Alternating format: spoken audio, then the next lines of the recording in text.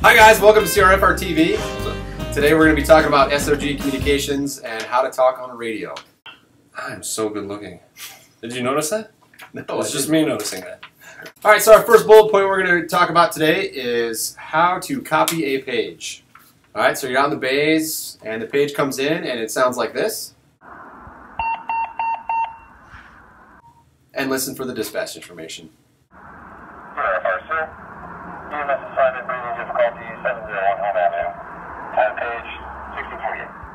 Now, depending on the page, once you copy it, Dispatch ambulance 61 copy. it that's your cue to run off to the appropriate apparatus and jump in it. Safely. Very Run- safely. Run safely. Don't forget to wear your seatbelt. Now, when you get in the apparatus, it's imperative that uh, you do not call en route until you are in the vehicle moving outside of the bays. That's cheating. How you call en route to dispatch. Dispatch ambulance 61's en route. Next, you will be arriving on scene to your destination of the page Dispatch ambulance 61 on scene. in the area. So if you get a call and you're dispatched to say the 84 westbound I-70 for a vehicle accident, and you're in the area at the 84, but you don't, but you don't see anything, so you can call dispatch and say, Dispatch, ambulance 61's in the area. copy is used to, uh, you know, say like, yeah, I heard what's going on. Ambulance 41, did you copy my traffic? I did. I copied your copy. What did you just say copy on the radio? Copy. If you are canceled by a apparatus, that means you're canceled. Ambulance 41, you can cancel. So that means you can go back to, you know, chilling in your recliner.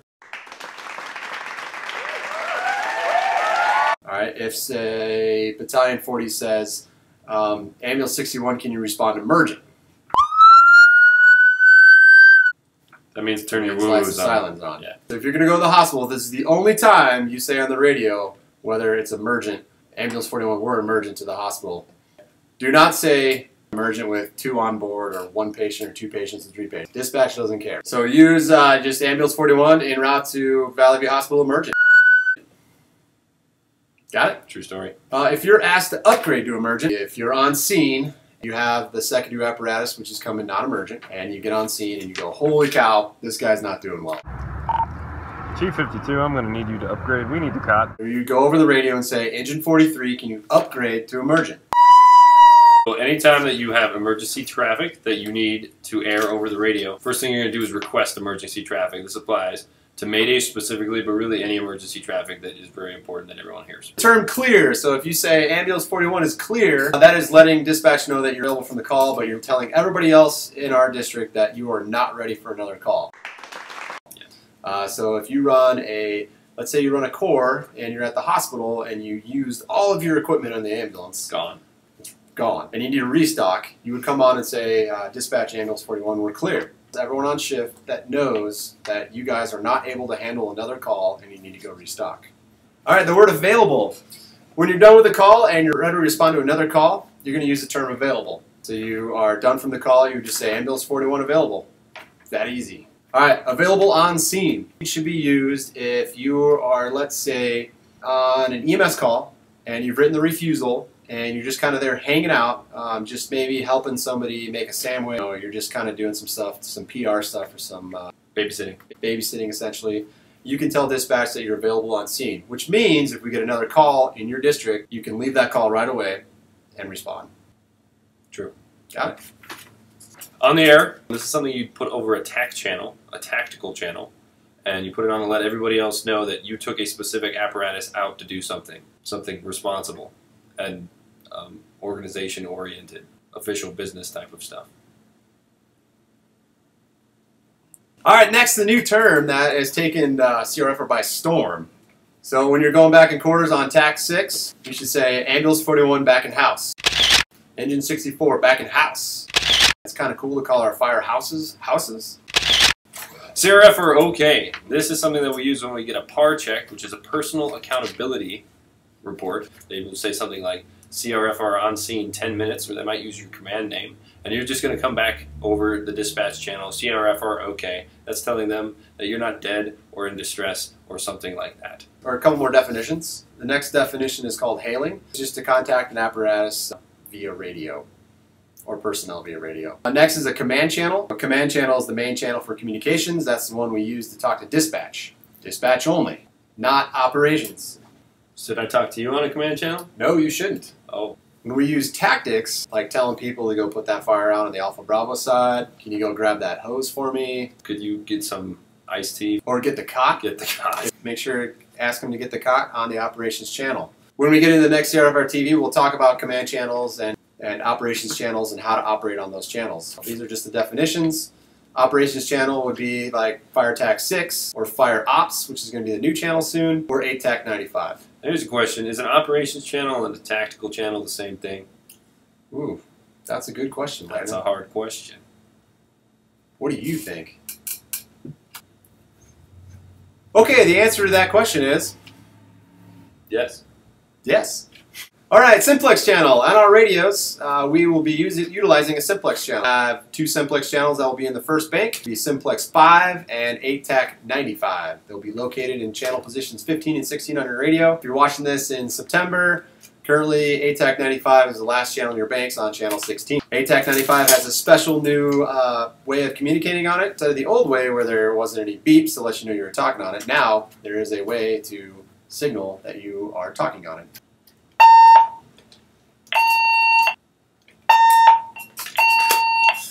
Oh, shouldn't have done that.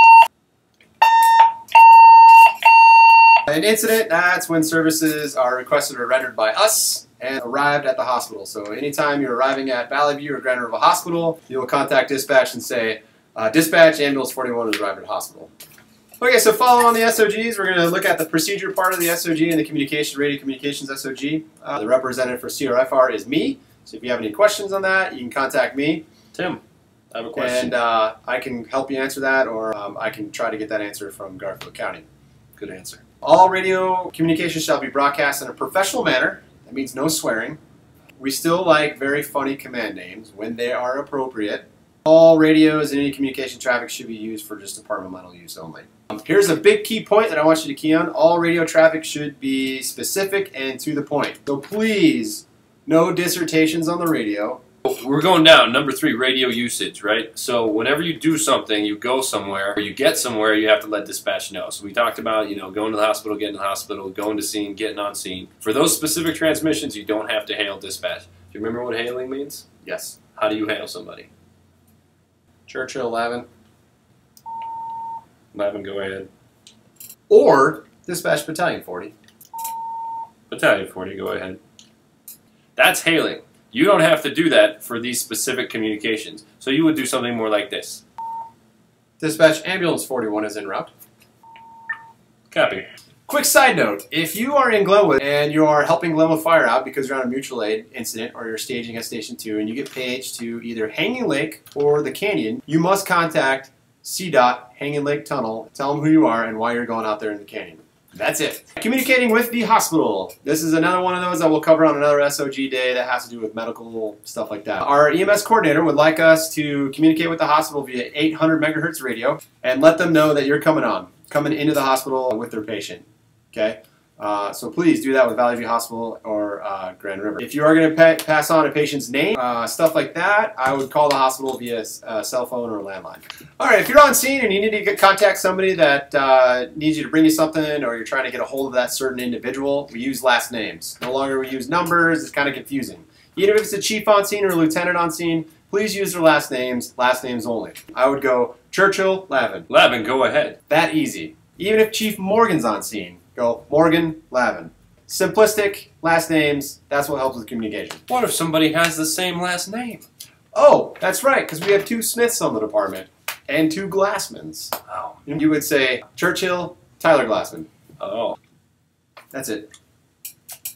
Okay, last but uh, not least is call signs. Call signs for the apparatuses are very simplistic. Engines, ambulances, tenders, call it what it is, call it what station's coming out of. If there are two apparatuses out of stations, there's two ambulances out of station 41. The first one would be ambulance 41. The second one would be ambulance 241. Same thing with engines, tenders, brush trucks. So if you need to reference any of these SOGs that we're going over, they're all going to be available for you on Atlantic in the file storage. So at the top bar, just go look for it. It's very easy. Or you can call us, no big deal. Peace out.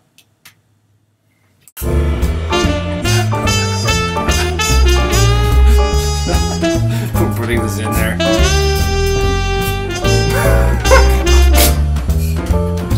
Yes, these radios are waterproof.